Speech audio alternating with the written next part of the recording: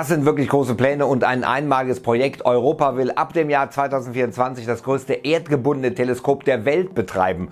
Und die Vorbereitungen dafür laufen auf Hochtouren. Mit dem Extremely Large Teleskop ELT in den chilenischen Bergen stehen die Chancen gut, unser Wissen über das Universum zu revolutionieren. Unter anderem soll das ELT nach außerirdischem Leben Ausschau halten. Wie das gigantische Teleskop genau aufgebaut wird, was es schlussendlich leisten wird und welche spannenden Ergebnisse sich die Forschungsteams erträumen, das alles und noch viel mehr jetzt in Klicks um Science Fiction. Herzlich willkommen. Ja, und vielen Dank für euren Themenvorschlag auf WhatsApp. Das ELT wird das leistungsfähigste und ehrgeizigste Teleskop seiner Art sein.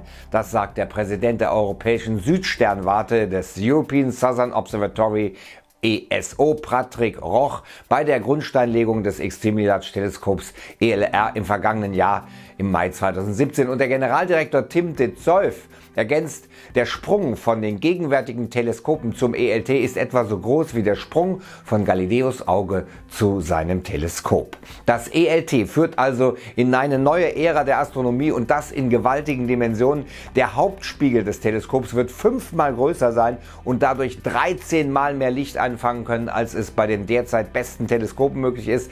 Das ist eine Garantie für sehr viele schärfere Bilder. Im Vergleich zum Weltraumteleskop Hubble wird es wohl 16 mal kleinere Details erkennbar machen und es geht weiter. Allein sein gewaltiger drehbarer Kuppelaufbau mit einem Durchmesser von 85 Metern ist von der Größe her vergleichbar mit der Fläche eines Fußballfeldes. Das ELT soll vor allem Exoplaneten unter die Lupe nehmen, denn dort könnte es bislang unentdecktes Leben geben. Wir berichten ja immer wieder davon, die Planetenforschung weltweit überbietet sich derzeit darin, den ersten bewohnbaren Exoplaneten aufzuspüren. Aber auch super supermassereiche schwarze Löcher und die Rätsel um die Verteilung der dunklen Materie und der dunklen Energie könnten mit dem gigantischen Teleskop gelöst werden. Ein besonderes Augenmerk soll auch auf der Frühgeschichte und der Zukunft des Universums liegen und das müsst ihr euch mal vorstellen, von den etwa 2500 Astrophysikern und Astrophysikerinnen in Deutschland werden wohl zwei Drittel mit den Daten des ELT arbeiten. Im vergangenen Jahr, im Mai 2017, wurde in Mainz der Sekundärspiegel aus Glaskeramik gegossen.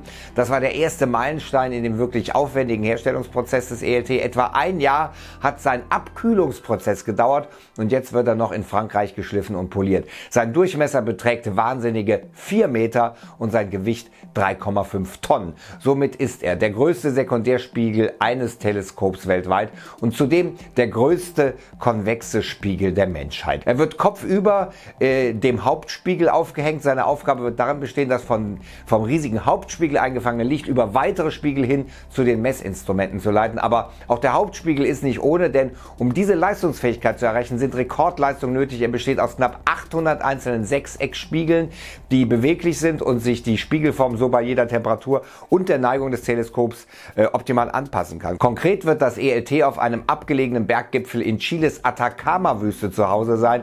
Da war ich auch schon mal. Da ist es sehr hoch und sehr trocken. Der Armazonesberg ist rund 3000 Meter hoch und vor zwei Jahren wurde seine Spitze gesprengt, um eine Plattform für das Megateleskop errichten zu können. Hier in der Atacama-Wüste betreibt die ESO Teleskope an drei Standorten, unter anderem auch das Very Large Teleskop VLR. Das besteht aus vier Teleskopen, die sich miteinander kombinieren lassen. So könnte eine 1-Euro-Münze aus einer Entfernung von 5000 Kilometern erkannt werden. Und die Bedingungen in dieser Region sind für astronomische Studien besonders geeignet, denn größere Städte mit störenden Lichtquellen, die sind weit entfernt. Zudem ist die Luft klar und trocken und die sogenannte Humboldt-Strömung sorgt dafür, dass die Region meist komplett wolkenfrei ist. Optimale Bedingungen also für wissenschaftliche Sternenbeobachtungen, auch wenn es ein wenig kurios klingt, von dieser abgelegenen Ecke der Erde Lebenszeichen im Weltall zu finden. Das ELT-Projekt läuft seit 2012. Ende 2014 wurde sein Bau genehmigt. Zehn Jahre später, also 2024, wird das Megateleskop dann wohl erstmalig an den Start gehen. Dahinter steckt, wie gesagt, die europäische Südsternwarte, die im Oktober 1962 durch Deutschland, Belgien, Frankreich, Schweden und den Niederlanden gegründet wurde. Mittlerweile gehört sie mit zu den erfolgreichsten Forschungseinrichtungen Europas. Derzeit hat sie 15 Mitgliedstaaten die finanziell, technisch und wissenschaftlich zum ELT-Projekt beitragen. Deutschland ist das größte aller Mitglieder und steuert 230 Millionen Euro von den Baukosten dazu. Insgesamt sieht es nach Kosten von 1,1 Milliarden Euro aus. Wow.